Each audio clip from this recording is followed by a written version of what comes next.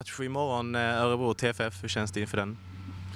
Ja, det känns ganska bra. Vi har i, genom åren varit ganska bra när vi har haft de här uppehållen och vi kunnat träna eh, upp oss igen. Och vi har haft eh, 14 dagars uppehåll och haft lite vila och haft en, en ganska bra träningsvecka. Saknar såklart eh, fortfarande viktiga spelare i form av Melander och, och Pode men, eh, och en svår bortamatch mot ÖSK. Men vi har, det är också en match som är lite bonus. Det är ju allt att vinna känns det som. ÖSK är annars ett lag som vi av tradition brukar ha svårt för. Med undantag av i fjol, höstas ja.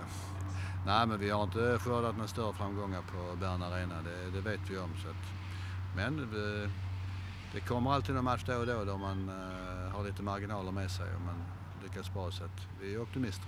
Du blev häromdagen utsedd till årets tränare av dina allsvenska tränarkollegor. Hur, hur ser du på den utmärkelsen?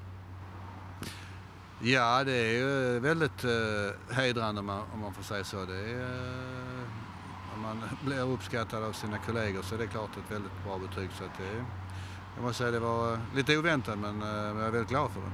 Vilka egenskaper hos dig är det som, som har fått dem att tycka så här om dig?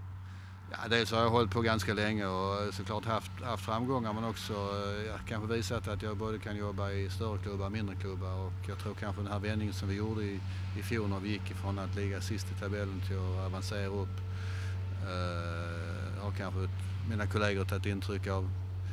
Uh, så att det har blivit ganska konsekventa och, eh, och, och noggranna med det vi gör och att vi har fått fått ut mycket av våra spelare som, som, folk, som folk tycker. Själv tycker jag att vi skulle kunna få ut mycket mer såklart. Men det är väl förmodligen det man har gått på. Är du stolt? Ja, jag är väldigt stolt över det. Det är ju den, en, en av de finaste betyg man kan få faktiskt. Att ens eh, tränarkompisar tycker att man har gjort ett bra jobb. Det måste jag säga är kanske det bästa jag fått någon gång. Tack så mycket. Tack.